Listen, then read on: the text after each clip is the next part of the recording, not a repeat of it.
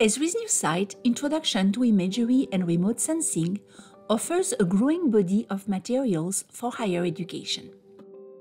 Pick and choose from a mix of hands-on activities and overview slides illustrating various aspects of imagery and remote sensing. These learning materials are free to use for all educators.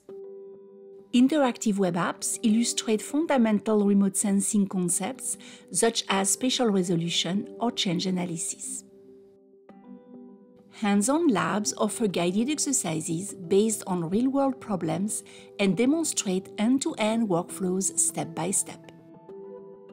The labs cover a variety of topics, from visualizing a volcanic eruption to measuring a shrinking lake with unsupervised classification, working with drone imagery, extracting information from a LiDAR point cloud, and much more.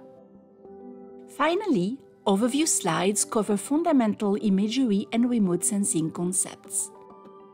The materials are organized thematically for you to select items of relevance to your course. All materials will be updated regularly to match software releases and current best practices.